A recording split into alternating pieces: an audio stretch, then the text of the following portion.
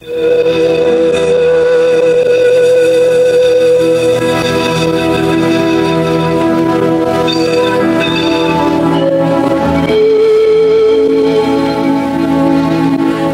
horário, a emissora da Fraternidade Rádio Rio de Janeiro oferta ao seu coração mais um programa Culto Cristão no Ar.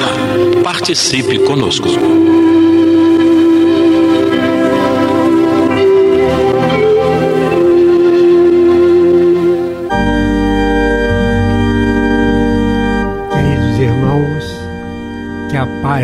Jesus possa desenvolver nesse momento em que estamos nos reunindo para falarmos do Evangelho de Jesus à luz da doutrina espírita. Fazendo parte do programa, nosso companheiro César Brito, Clé Nonato, eu, Lidiane Barreto, e lá no estúdio, nosso companheiro Pablo. Nós queremos informar que a Rádio Rio de Janeiro, com todas as instituições financeiras, aqui tem despesas, está precisando da nossa ajuda. Quem faz parte do Clube da Fraternidade, não esqueça de fazer o pagamento e, se possível, com aquele acréscimo que a diretoria está solicitando. E aqueles que ainda não fazem parte, se inscrevam, porque a Rádio Rio de Janeiro é o maior patrimônio do movimento espírita de nosso estado, presta relevantes serviços na divulgação da doutrina, do movimento espírita. E se a rádio, como eu sempre falo, é a rádio dos espíritas, compete aos espíritas mantê-la no ar. Então vamos colaborar, né? fazer aí uma, umas continhas de chegar no orçamento e, dentro do possível, né? fazer essa, essa contribuição mensal para que a rádio possa realmente é, se estabilizar financeiramente. Então nós vamos iniciar o programa agradecendo a audiência de vocês. Vamos à página? Que Jesus possa estar em seus lares. É do livro Fonte Viva, pelo Espírito Emmanuel. Nós vamos ler Altar Íntimo.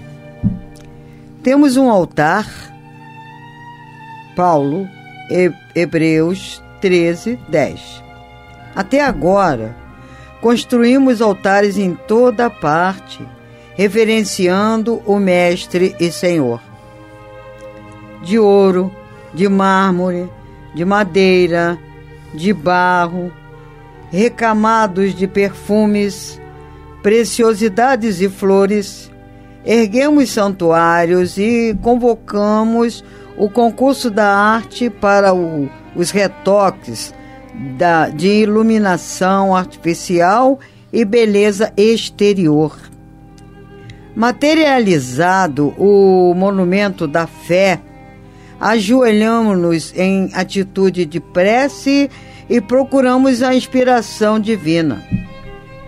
Realmente, toda movimentação nesse sentido é respeitável, ainda mesmo quando cometemos o erro comum de esquecer os famintos da estrada em favor das suntuosidades do culto porque o amor e a gratidão ao poder celeste, mesmo quando mal conduzidos, merecem veneração.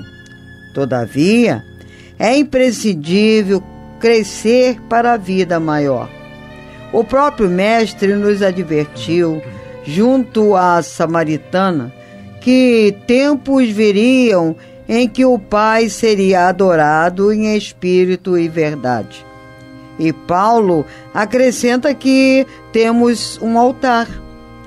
A finalidade máxima dos templos de pedra é a de despertar-nos à consciência.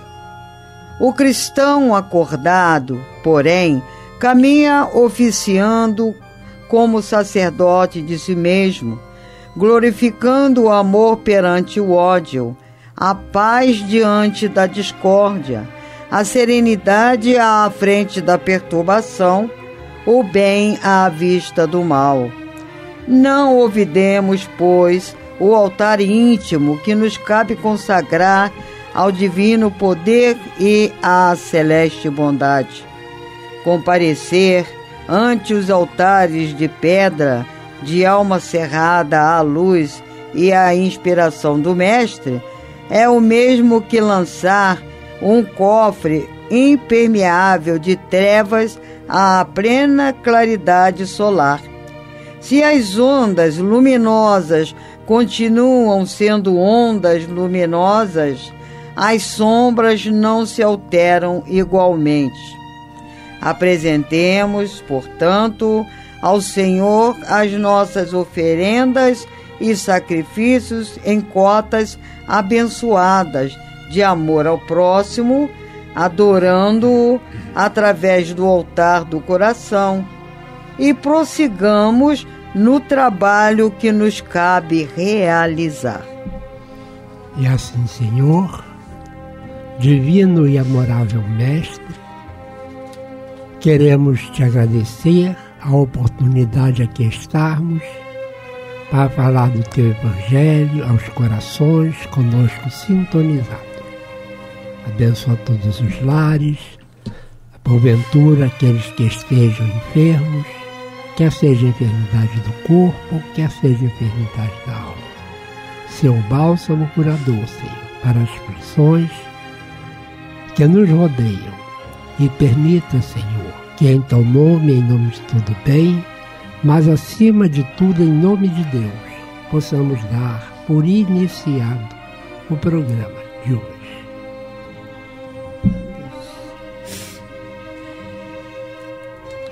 Eu vou então passar a palavra ao nosso companheiro César, que hoje está substituindo o Ayrton, mas também se integrando ao nosso grupo aos poucos. E então ele vai fazer a leitura do Evangelho. Queridos irmãos, eh, essa leitura está contida no nosso Evangelho, no capítulo 27, no itens 9 e 10. A ação da prece, transmissão do pensamento. A prece é uma invocação, por seu intermédio, entramos em comunicação pelo pensamento com o ser a quem nos dirigimos. A prece pode ter por finalidade um pedido, um agradecimento ou uma glorificação. Podemos pedir por nós mesmos ou pelos outros, pelos vivos ou pelos mortos. As que são endereçadas a Deus são ouvidas pelos espíritos encarregados da execução da sua vontade. As que são dirigidas aos bons espíritos são igualmente levadas a Deus. Quando oramos para outros seres que não a Deus, eles são apenas intermediários, intercessores, porquanto nada pode ser feito sem a vontade divina. O Espiritismo nos faz compreender a ação da prece, explicando como se processa a transmissão do pensamento, seja quando o ser chamado atende ao nosso apelo, seja quando o nosso pensamento chega até ele. Para se compreender o que se passa nessa circunstância, é preciso imaginar todos os seres, encarnados e desencarnados, imersos no fluido universal que ocupa o espaço, assim como aqui na Terra estamos mergulhados na atmosfera. O fluido recebe o impulso da vontade, ele é o veículo do pensamento, como o ar é o veículo do som, com a diferença de que as vibrações do ar são circunscritas, enquanto que as do fluido universal se estendem ao infinito. Assim sendo, quando o pensamento é dirigido para um ser qualquer, sobre a terra ou no espaço, de encarnado a desencarnado ou de desencarnado a encarnado, uma corrente fluídica se estabelece de um ao outro, transmitindo o pensamento da mesma forma que o ar transmite o som. A energia dessa corrente está na razão direta da energia do pensamento e da vontade. É assim que a prece é ouvida pelos espíritos, em qualquer lugar em que eles se encontrem, que os espíritos se comunicam entre si, que nos transmitem suas inspirações e que se estabelecem as relações à distância entre os encarnados. Essa explicação visa esclarecer principalmente aqueles que não compreendem a utilidade da prece puramente mística, não tem por finalidade materializar a prece, mas tornar os seus efeitos compreensíveis, mostrando que ela pode ter uma ação direta e efetiva, mas que não está menos subordinada à vontade de Deus, juiz supremo em todas as coisas e único que pode tornar a sua ação eficaz. Então, nós vemos aí como é que a prece funciona através dos nossos pensamentos. E quando o César estava fazendo a leitura, eu me lembrei de um companheiro, Luiz Carlos Formiga, professor da UERJ de microbiologia, e quando ele falava em oração com os alunos, ele não falava no aspecto religioso, mas dentro dos conceitos científicos, porque ele estava falando para universitários. Então, a gente observa que realmente a prece ela tem um poder muito grande que a gente ainda não pode avaliar. E como é que a prece transmite? Exatamente como as ondas radiofônicas. Eu estou falando aqui a um microfone e companheiros é, espalhados aí pelo estado e vários locais captam o, a minha voz, estão ouvindo o que eu estou falando.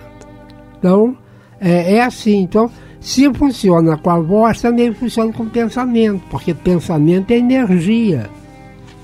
E essa energia, ela se transmite, como diz aqui o texto, através do fluido do cósmico universal.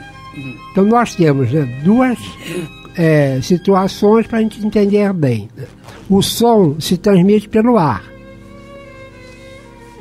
A prece e os nossos pensamentos se transmitem através do fluido cósmico universal. Ambos, ar e o fluido cósmico universal, eles envolvem todo o nosso planeta. E, como diz aqui também Allan Kardec, ele né, é um fluido que está presente em todo o universo. Então, por exemplo, quando nós, daqui a uns anos mais à frente, entrarmos em contato com seres de outros planetas, né, e aqueles seres, se forem mais evoluídos, quando orarem pela população da Terra, nós receberemos a oração pelo fluido cósmico.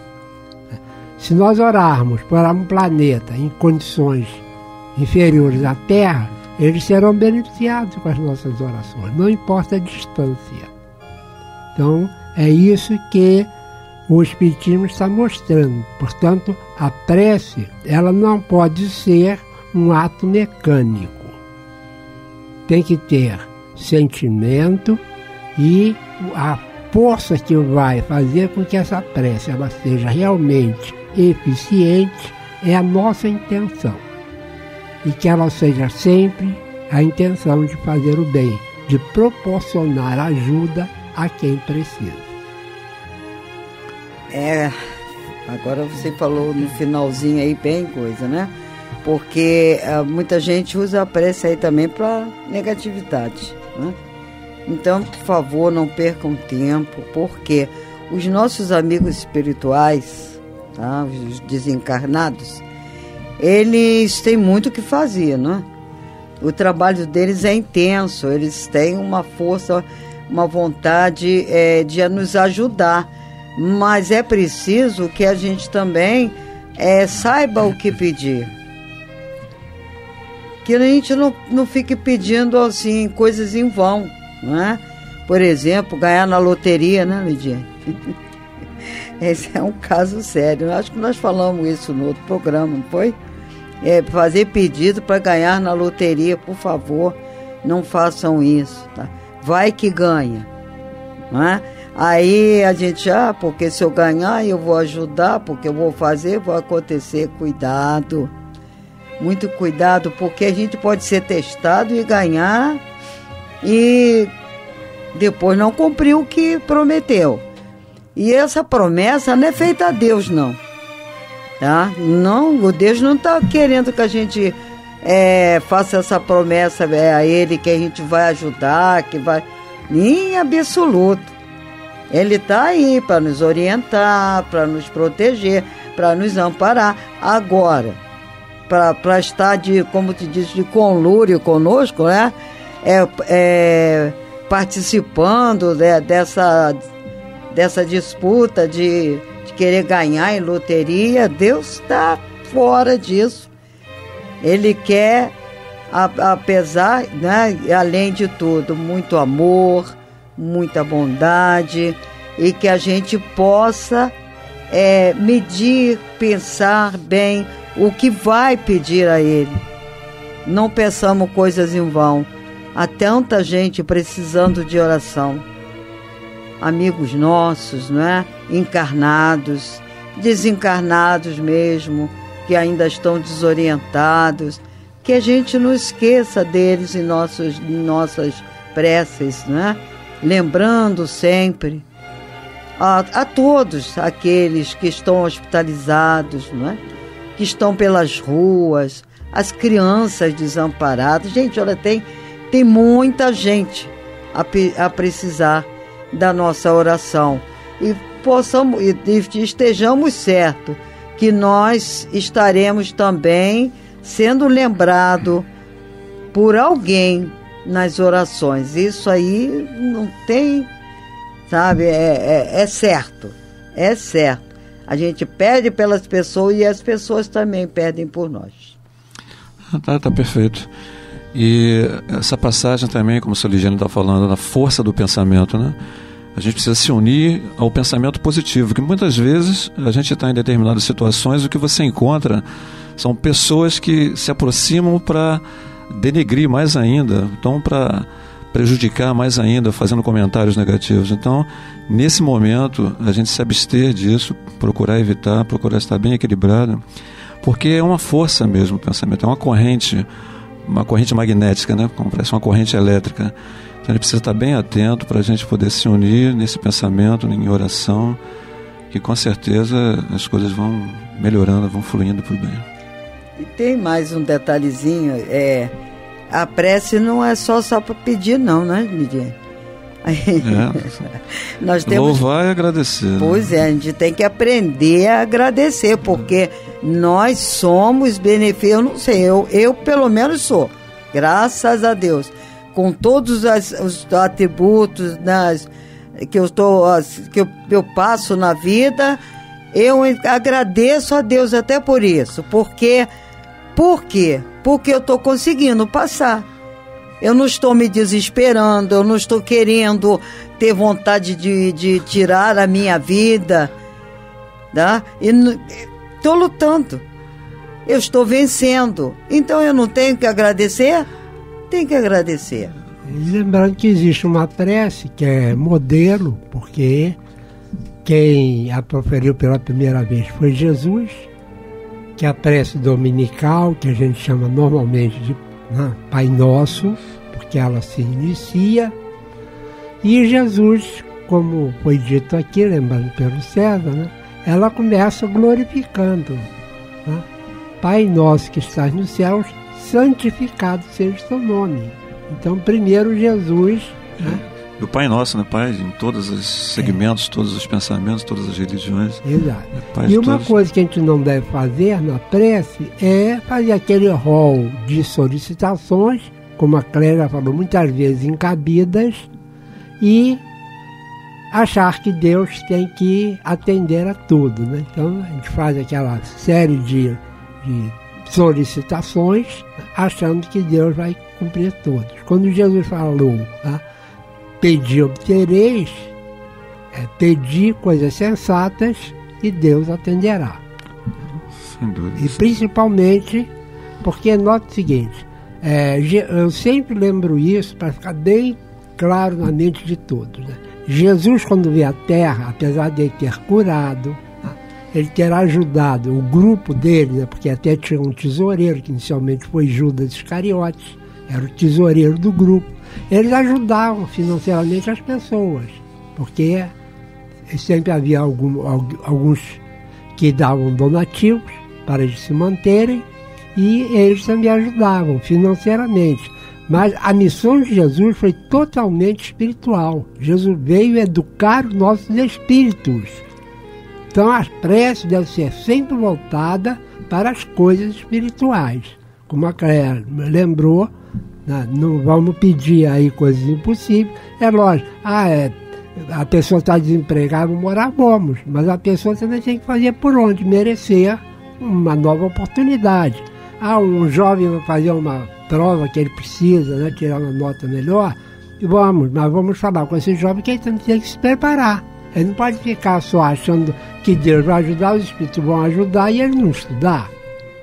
Se a gente fizer a nossa parte, Deus irá fazer a dele.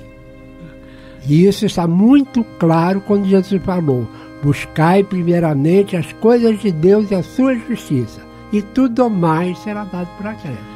Então, primeiro as coisas espirituais, as materiais virão por acréscimo. Por isso vem o pedir e obtereis, vírgula, vírgula, de acordo com o seu merecimento, a sua Sim. necessidade. Eu, eu já vi, gente, acho que ainda tem alguns minutinhos, né? Tem cinco. É, eu já vi gente brigando com Deus. já, já vi. Fazendo. O senhor tem, ah, ele tem que me atender. O que é isso, isso é. gente? Exigindo. Cotidiano. Né? Exigindo. Aqui que tem. Não, eu, eu tenho que acontecer, tem que me dar sim. Ele vai. Que isso? Gente? Eu acho que até a gente, em alguns momentos de, de fraqueza, vem aquele pensamento: Senhor, poxa vida, mas é é fácil, vamos corrigir rapidamente esse pensamento e que Deus nos abençoe. Mas é, tem que ter calma. Então a poesia que vai encerrar o programa, como sempre fazemos, está contida no livro Cantigos de Vida, nosso companheiro Custódio Beiral, que nós tivemos o, a felicidade de não só conhecer, como conviver com esse companheiro, excelente poeta, e ele nos blindou com o seguinte, sobre prece. Somos todos repetentes na mesma escola padrão, em setores diferentes, revendo a mesma lição. Se um sino complementasse o organismo perecível e na maldade vibrasse, dormir seria impossível. Coragem na provação, paciência quando o cajado nos escapole da mão no momento indesejado. Quem sabe seja o cadinho que facilita o resgate, esperando no caminho para o remissor combate. Pelo fluido universal, as preces desse jaez na pátria espiritual encontram resposta a vez. Mentaliza um grão de areia no teu sapato esquecido verás que, tirando a meia, expulsas o intrometido. Jesus, mestre, amigo, companheiro, mais uma vez te agradecemos por esta emissora, por todos os que aqui trabalham, que eles possam ser abençoados por ti, desde a diretoria até àquele que está lá na transmissão Imagé, né? trabalhando também para que ela possa é, atingir a lugares longínquos. Muito te agradecemos pela nossa emissora. E a equipe aqui presente está abraçando também a todos os aniversariantes do mês de setembro. Que eles possam, Senhor, ter a sua paz, o teu amor e muita bondade para seguir a caminhada. Fique conosco agora, hoje e sempre, e graças a Deus.